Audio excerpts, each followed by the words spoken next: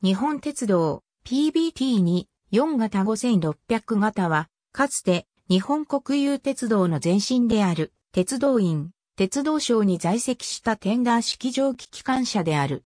1899年及び1902年に PBT に4型第2種の改良型としてイギリスのベイヤーピーコック社で18両が製造され、日本鉄道に納入された機関車である。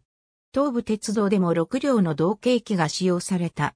車軸配置4から4から0で2気筒単式の飽和式テンダー機関車で、動輪直径は 1372mm である。設計変更により5500型とは大きく異なる形態となったが、基本的な性能、寸法は同一である。弁装置はスチーブンソン式、安全弁はラムズボトム式。本形式の最も顕著な特徴はベルペア過失の採用である。ベルペア過失はベルギーの機関車技術者 A ベルペアの開発した過失の形式で内過失と外過失がほぼ同じ形状をしており、内過失を支えるステーの形状を簡単にでき、冠水の循環がよく水垢の付着が少ないという利点があり、角張った外観が特徴である。しかし、円筒形のボイラー第二感動との接続部の工作が難しく、鉄道作業局では正式採用されなかった。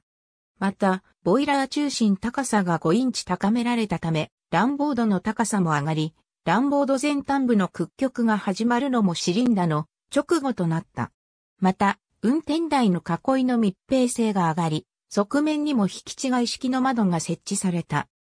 淡水車の大枠上面高さは変わっていないため、運転台後部のラインが淡水車の大枠上面高さに合わせて S 字型に屈曲している。運転室前面には直接ランボード上に出ることができるよう扉が設けられた。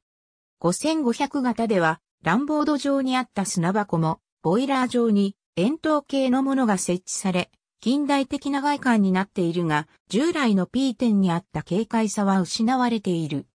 形式図冒頭で述べたように、本形式は1899年に6両、1902年に12両の計18両が輸入され、日本鉄道では形式は5500型と同じ PBT に4型、番号は213から230と不番された。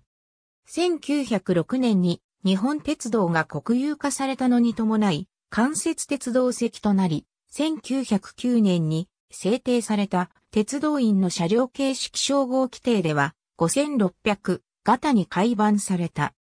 その後、煙室を延長したほか、動輪のタイヤを強化したため、動輪径は 1397mm となっている。当時は東武鉄道局に所属し、仙台鉄道局が分離した後は両局に所属し、東北線系統で使用されたと思われる。1927年から1929年にかけて廃車となったが、7両が王子製紙の棒系のカラフト鉄道に譲渡されて40から46となり、5605は陸軍の鉄道連隊に移った。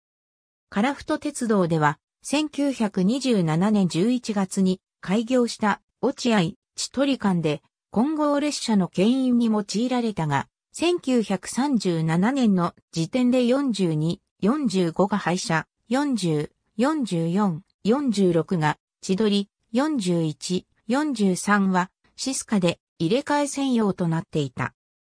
その後、1941年にカラフト鉄道がカラフト町に買収され、カラフト町鉄道のカラフト東線となり、1943年4月にカラフト町鉄道が鉄道省に併合された際に、41、43、44が再び国有鉄道席となり、5625型となったが、1945年の太平洋戦争終戦時にソビエト連邦に接収され、その後の消息は不明である。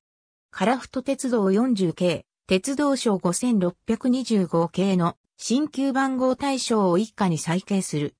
鉄道連隊に移った5605は、1945年に自己廃車された3の台車として、終戦後に東武鉄道に入線し、B7 系に改版された。同車は1957年まで使用され、廃車解体された。東武鉄道の B3 型蒸気機関車の34号機、東武鉄道の B3 型は、国鉄5600系の純動系機と言えるもので、動輪径が 1524mm に拡大された。以外の基本寸法は国鉄5600型と同一であるが、乱暴度前端部の処理が変わって、屈曲を設けず直線のままオツ型に段差を設けた形となり、多少垢抜けた印象となった。1914年米やピーコック社で6両が製造され、東武鉄道では29の34に不番された。日本で最後に輸入された2バイト型テンダー式蒸気機関車である。本形式は貨物列車牽引に使用され、このうち29、33は1960年に、32は1963年に廃車となったが、残りは1966年6月末の相沢線、大可能線の蒸気機関車廃止まで使用された。その後、30は栃木県佐野市九頭町の片山公園に、34は東京都大田区の萩中公園に生態保存されている。1908年より4両導入し、台北高尾間の直通急行に使用した。ありがとうございます。